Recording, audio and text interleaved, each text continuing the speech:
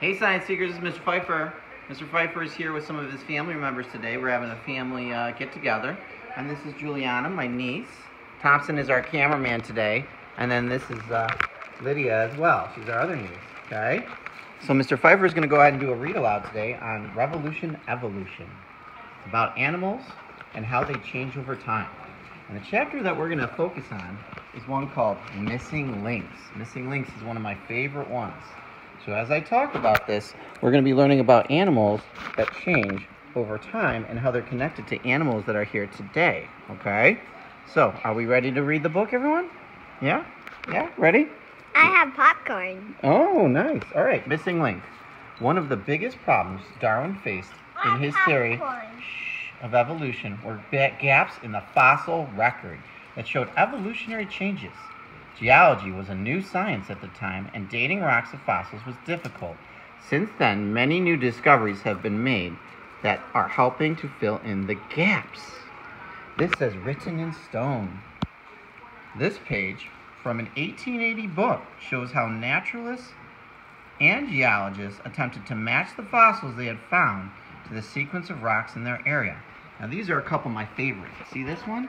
This is the ancestor to the birds. It's a dinosaur, but do you see how it has feathers in it? It's Yep. called Archaeopteryx. One of the first missing links to be found was Archaeopteryx, a wing fossil that showed a change or transition from dinosaurs turning into birds. A number of other fossils have since been found, including a non-flying dromaeosaur that was downy feathers and head to tail, suggested the feathers first may have evolved as a way to keep the bird warm. So just like fe- just like uh, fur keeps an animal warm, like a mammal, birds probably originally had feathers to help keep them warm. The last one we're going to learn about is one of my favorites. We learn a lot about in my class, in science class, is one called Tiktaalik.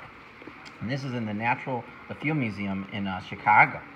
Tiktaalik is a transitional form between a fish and a walking, basically tetrapod or lizard. Shows how this fish pod had developed wrist and finger bones that enable it to prop itself on its fins. Holes on the top of its head suggest, which means that it tells us that it may have breathed air through its primitive lungs, right in those holes, right there. Okay? And then again, here's the difference between all the different species and how we all have the same bones inside of our head, right in here.